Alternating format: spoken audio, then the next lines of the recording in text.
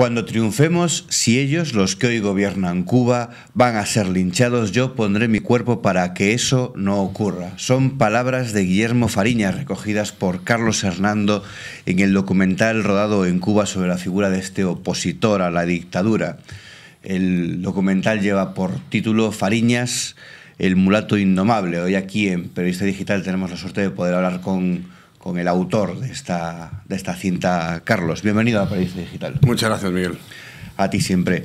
Bueno, este, eh, ¿cómo, se ha portado la prensa española con, con, el caso de Guillermo Fariñas? Sí, la verdad es que parecía que la, la, historia de Guillermo Fariñas iba a ser como la de Orlando Zapata Tamayo, que no fue muy seguida por la prensa española hasta que su muerte desencadenó una serie de reacciones internacionales que, digamos, eh, dejaron al régimen castrista en una posición muy débil, como hacía muchísimo tiempo que no se encontraba. Guillermo Fariñas parecía que iba a seguir ese camino, pero una serie de medios internacionales, sobre todo la prensa española, consideraron que la huelga de hambre de Guillermo Fariñas eh, merecía ser contada y bueno, pues se le dio mucho, mucho altavoz a esa huelga que al final ha sido exitosa y se han podido, digamos, sacar casi todos los presos del grupo de los 75, no solo por la acción de, de Fariñas, también por la, por la muerte de Orlando Zapata Tamayo, por la acción de las Damas de Blanco y, lógicamente, por la huelga de hambre de Guillermo Fariñas que puso en un brete al régimen castrista. Mm. Quiere decir que todavía quedan 10 o 11 dentro de las cárceles que se niegan a ser desterrados en nuestro país. Mm. ¿Cómo un día hace las maletas y decide irse a Cuba a rodar la historia del mulato indomable? Bueno, pues esto fue en, marzo pasado. Yo ya he viajado unas cuatro veces a Cuba y bueno, le he cogido cariño a ese país y sobre todo a, amigos como Guillermo Fariñas. Y bueno, me encontré ahí rodando un documental que no tenía nada que ver con, con esta situación, tenía ya los billetes comprados y, y cuando viajé, cuatro días antes, murió Orlando Zapata. La situación se puso tensa, Guillermo se puso en huelga de hambre y un amigo mío que es músico ahí en la isla me dijo que si quería ir a ver a Guillermo Fariñas. Yo le conocí ya en 2007 en la casa de Lisardo Sánchez, que es el presidente de la ilegal, como dicen ellos, Comisión de Derechos Humanos de Cuba. Y dije, bueno, pues este hombre yo le conocí, fui para allá y él me dio una, una serie de fotos que en esos momentos el, régimen castrista orquestaba, como suele hacer, una campaña de desprestigio de Guillermo Fariñas acusándose de ser delincuente común. Es algo muy habitual en la isla, ¿no? Es decir, eh, inventan una serie de delitos eh, para que, digamos, no se le consideren a opositores políticos, sino de delincuentes comunes. Entonces me fui a, su casa, me hizo, dice, por favor, publica esto, ¿no? Y al final lo publiqué en un diario nacional, esas fotos que están recogidas en el documental, y según me contó Guillermo, meses después, allá en, este verano, que también estaba en Cuba, me dijo que la publicación de esas fotos había para una campaña de los órganos eh, de comunicación castristas, como el Granma, en su contra. Y bueno, nos hicimos un poco amigos. ¿Cuál es la idea que tienen de estos hombres, de Orlando Zapata o de Guillermo Fariñas? El pueblo cubano mm, se mueve entre la ignorancia absoluta debido al, bueno, pues al, al, poco, al mínimo acceso que tiene el pueblo cubano a la información y el odio en el sentido de que mucha parte de la población cubana ha sido eh, pues, criada en el dogmatismo castrista. La mayoría de la gente ignora la existencia de Orlando Zapata Tamayo, sobre todo los jóvenes, los jóvenes que, bueno, que realmente los, los, llamados nietos de la revolución, que sí han vivido lo peor de la revolución castrista entre el 91 y el 94, periodo especial, pérdida de un 40% del Producto Interior Bruto de ese país y entonces esos están totalmente desencantados, no tienen ningún acceso ni les preocupan los problemas de su país. Y en cuanto al otro por ciento de la población, eh, digamos, eh, activista política, pues los gente están considerados, pues, pues como les llaman, gusanos, eh, curiosamente gusanos, ¿no? que al fin y al cabo ahora mismo Cuba está en una crisis económica internacional, lo hemos podido ver en Wikileaks, que, que inversores internacionales dicen que le quedan dos años de vida financiera, pues exactamente esa gente que acusa a los mercenarios y a los gusanos que se fueron en su momento están financiando en estos momentos Cuba. La mayoría desconoce, pero hay que decir también que hay un pequeño tanto por ciento entre los jóvenes activistas, por ejemplo, blogueros, que empiezan a hacer eh, sonar eh, las voces de los disidentes y que, bueno, empiezan a ser un poco conocidos. Eh, yo conozco mucha gente que si quieren vivir sin cometer ilegalidades, según el, régimen instituido por los hermanos Castro, tienen que comer por lo menos una vez cada dos días, ¿no? Porque el sueldo no alcanza. Estamos hablando que el sueldo medio de un cubano son 8 euros al mes. Al mes. Vamos, que eso en Cuba son eh, siete Coca-Colas, ¿no? Y con eso viven. ¿Y cómo lo hacen? Pues muchos sin comer. Los más fieles al régimen castrista. Gente es que, que, no come por ser fiel a Castro. Exacto, porque no quiere ser, los llaman los come mierdas, es decir, gente que quiere ser honrada, ¿no?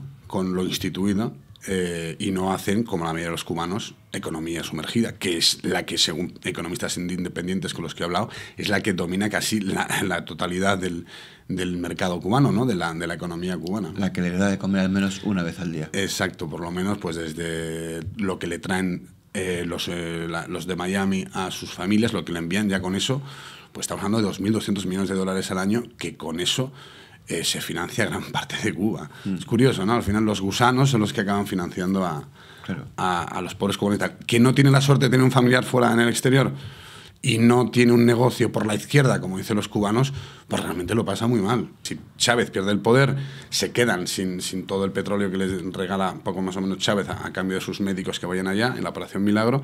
Entonces, sin Chávez y con China replegándose las velas, Cuba estaría en un callejón sin salida. ¿no? Pero nota que, que la balanza se está desnivelando hacia algo que no sea los Castro.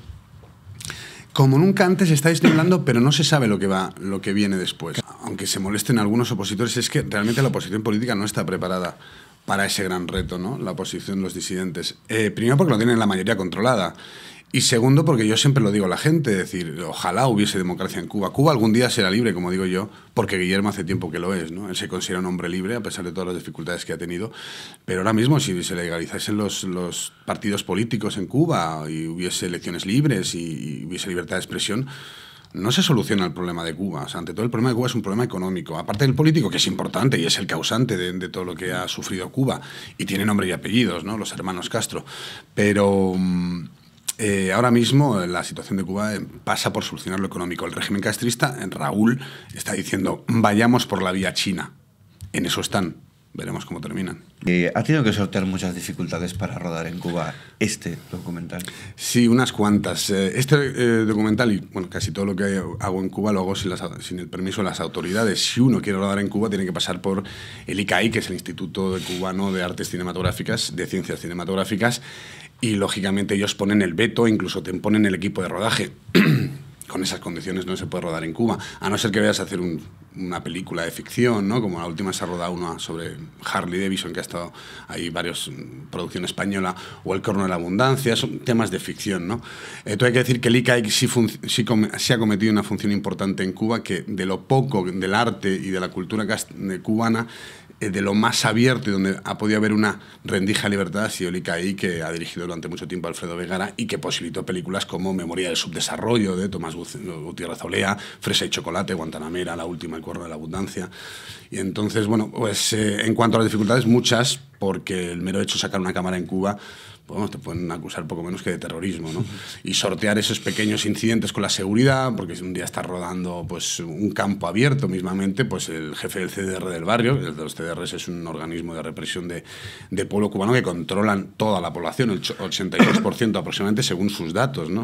O sea que puede ser más.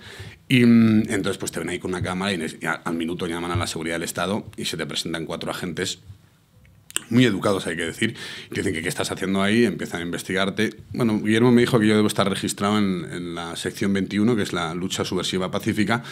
también hay que decir que en estos momentos tampoco quieren muchos problemas con, con periodistas extranjeros eh, o eh, cineastas extranjeros. Pero vamos, que, que, lo controlan todo y lo saben, sí, y que te pegan algún susto de vez en cuando también. En su documental, de hecho, no sé, bueno, no sé si tiene algo que ver.